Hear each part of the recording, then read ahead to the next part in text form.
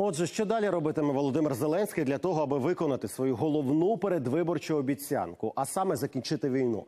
Давайте спробуємо спрогнозувати разом із нашим гостем Олександром Мартиненком, генеральним директором агентства Інтерфакс Україна і дуже добре поінформованим фахівцем. Пане Олександре, дякую, що прийшли.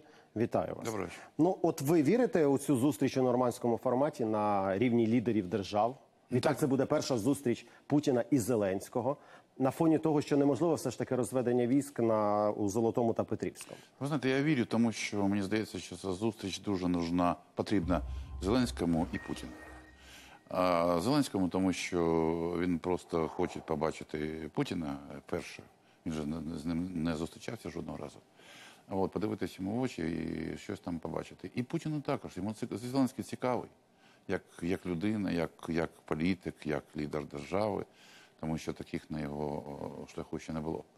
Тому зацікавленість взаємно є. Інша справа, що потрібен результат, як відомо. Да? Тобто будь-яка зустріч на рівні президентів має бути з якимось результатом. І от зараз робота, яка буде йти найближчий місяць, це буде робота в пошуках можливого результату. Що це може бути? Зразу кажу про я скептик стосовно політичної частини Мінська, яка Росія намагається впровадити якомога швидше. І це помітно.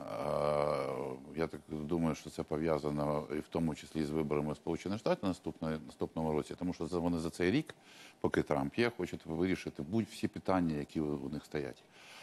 Але е, мені здається, що саме на цій зустрічі це малоймовірно.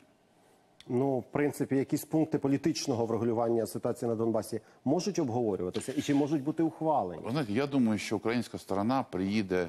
Я не знаю точно, але мені мені здається, що вона приїде перш за все з ідеями гуманітарними, соціальними і економічними. А- Тому що насправді це в інтересах людей, людей, які живуть в Україні. Але ж ми здогадуємося, з якими питаннями прийде російська сторона. А російська сторона прийде з одним питанням, з яким про яке вона говорить дуже давно, саме про політичну частину. Ну з цього приводу я хочу нагадати, що на останній мінській зустрічі трьохсторонньої групи українська сторона підняла питання взагалі існування ДНР ЛНР. От знаєте, да? А тут даже дуже все просто, тому що якщо йти по букві мінських угод, як говорить Росія, давайте йти по букві мінських угод. Окей. Буква по мінських угодах, як відомо, не існує ні ДНР, ні ЛНР. Там існують окремі райони Донецької і Луганської областей України. Це перший. І другий момент, на який звернули увагу фахівці в Україні, це якщо вибори пройдуть, от ці по формулі Штайнмайера і все інше, а вибори це місцеві. Не забуваємо, що в так званих ДНР прийшли вибори вже голів республік, там рад.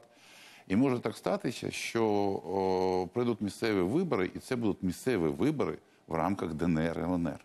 Як будуть враховувати, як будуть рахувати з того, боку. Це, звичайно, допустити неможливо, тому мова йде про те, щоб вони чи зараз, чи безпосередньо перед виборами прийняли рішення, що ДНР ЛНР не існує в природі, а існують окремі райони Донецької і Луганської областей.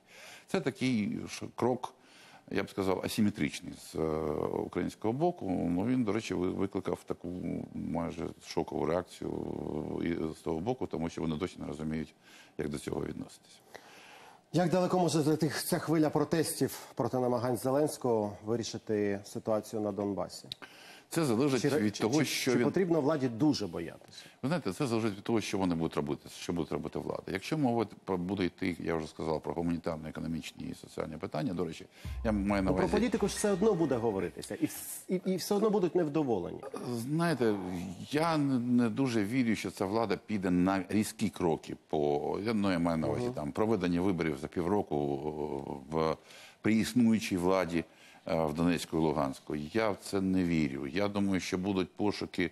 Е, Не виключаю, що знову буде повернення до ідеї е, міжнародної адміністрації. Пам'ятаєте, це було рік тому чи півтора року тому. Ідея міжнародної адміністрації, яка буде проводити вибори. Це можливо. А, але ці всі масові акції, мітинги і прочі, і всі майдани, вічі на Майдані, вони, звичайно, е, ну, е, це було застереження для влади, тому що там були, як ми розуміємо, і суб'єктивний фактор, тобто політичний, Звичайно. і реальний.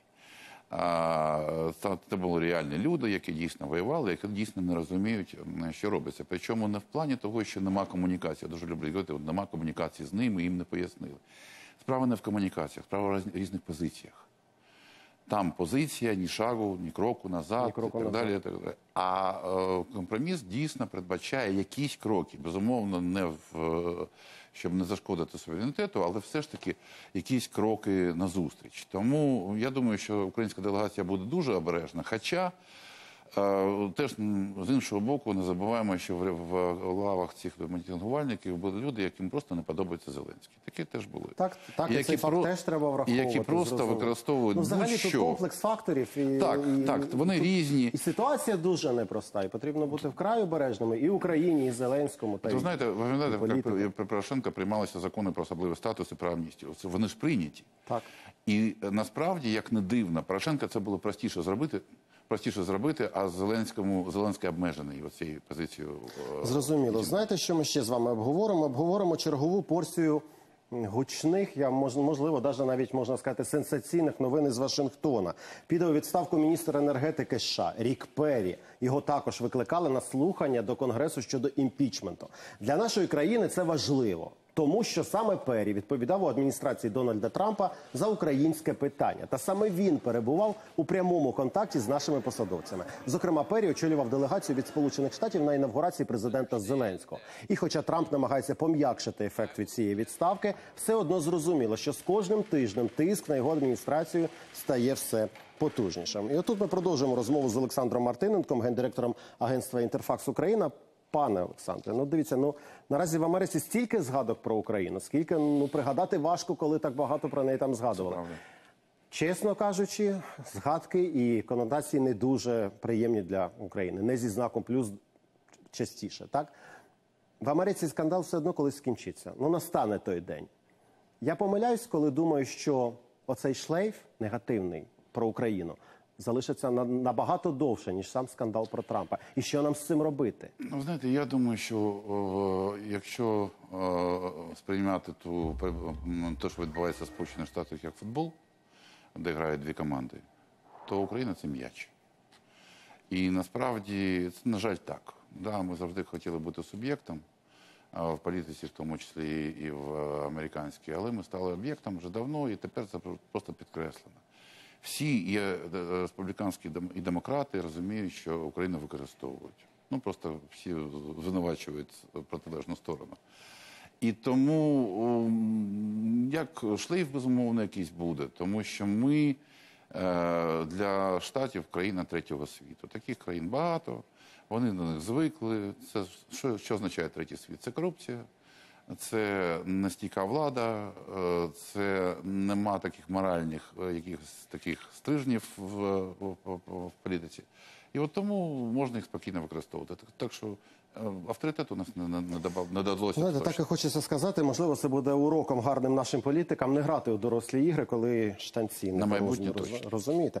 Дякую вам за цю розмову. Олександр Мартиненко, гендиректор агентства Інтерфакс Україна, був моїм гостем. Ще раз вам за це дуже вдячний. Дякую.